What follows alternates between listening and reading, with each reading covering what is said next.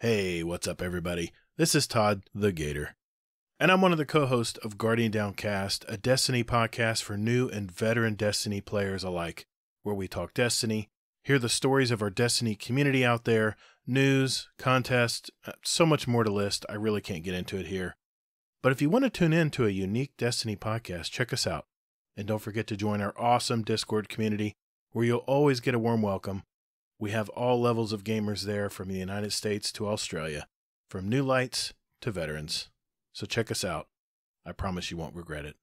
I've played over 3,500 hours of Destiny 2 and several thousand more in the original Destiny game since the beta released in early of 2014. And I'm on a mission to help new and returning Guardians pick apart the intricacies of this game, Destiny 2. I'm slowly building a library of reference videos, so please subscribe for future additional content.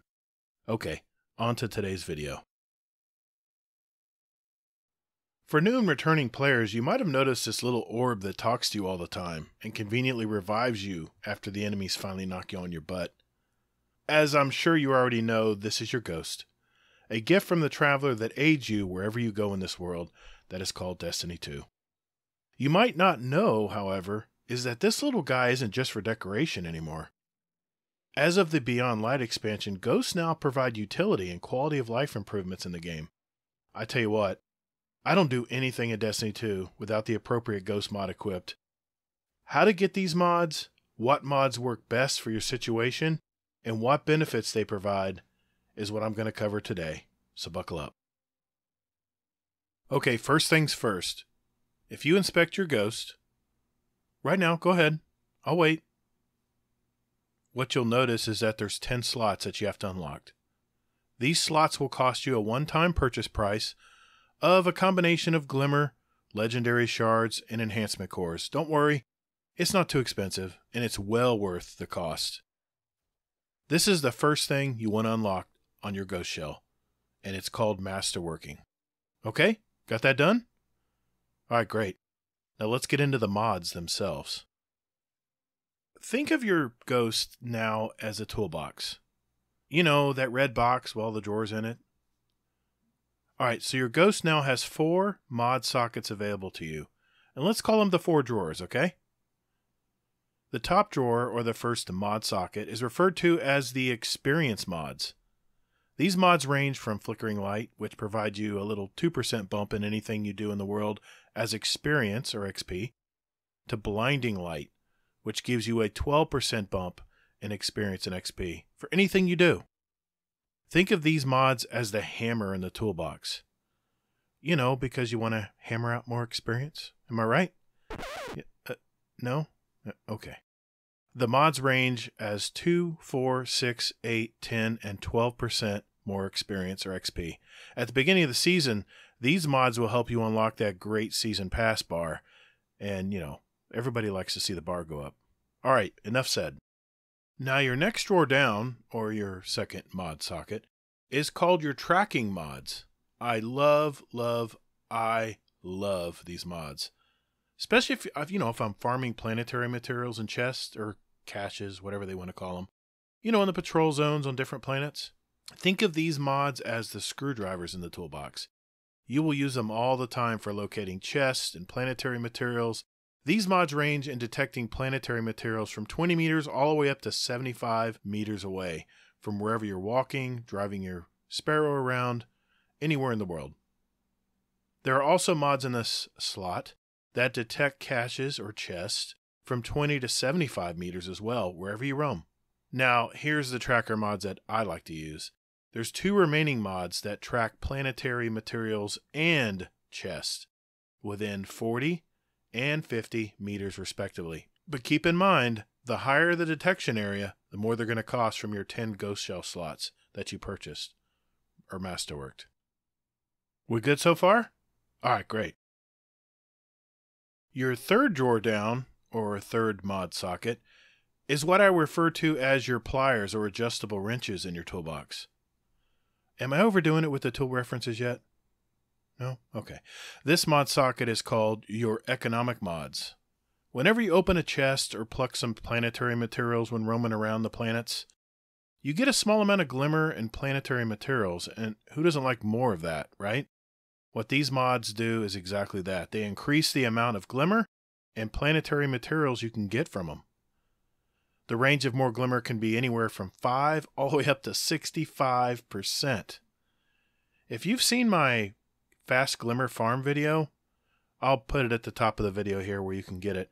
You can get upwards of over 6,000 glimmer from one single chest. So check that one out. It's super easy. All right, also in this slot is something Bungie just added recently, and that is called the Armorer mods.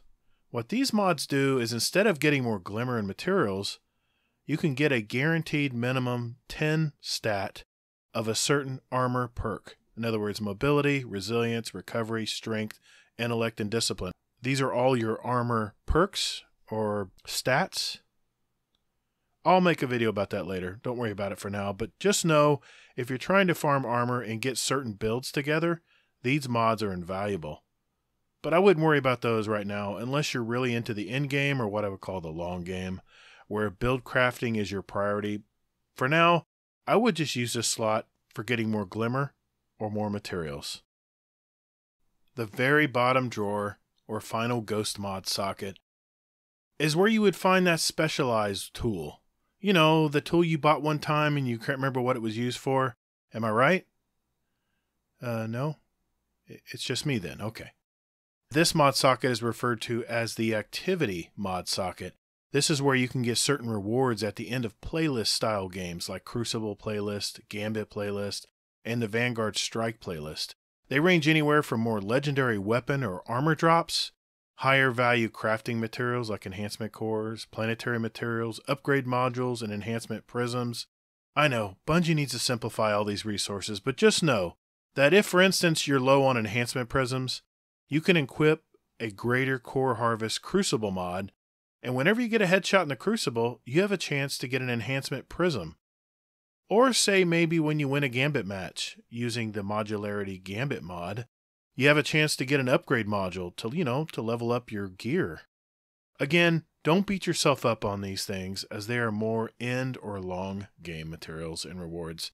But you can use these mods as long as you have masterworked your ghost. In other words, you've unlocked all 10 slots. Hey, I know that was a lot to cover today, but as a new or returning player, you may not have been taking advantage of these little extra perks in the game like us veteran players have. So now you know. By the way, I can hear it already.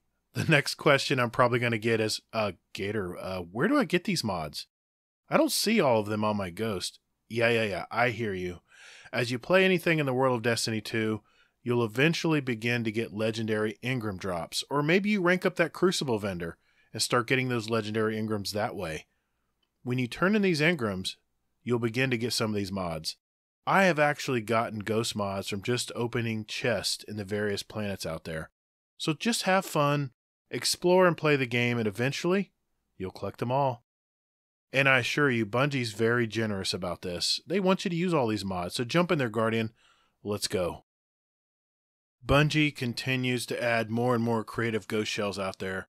So jump in, start collecting them now. You won't regret it and you'll get rewarded for the stuff you're already doing in the world of Destiny 2. This should help get you started. So let's go, Guardian. Hey, thanks for watching the video, and please hit that subscribe button. I know, I know everyone says that, but I really do mean it. My goal is to reach a thousand new and returning Destiny gamers out there and learning all the subtle things in this game in preparation of the release of Destiny 2 Lightfall, which will be here before you know it. And that release, by the way, is February 28th of next year. So help me out. I appreciate you. Take care of yourself and each other. And later, Guardian.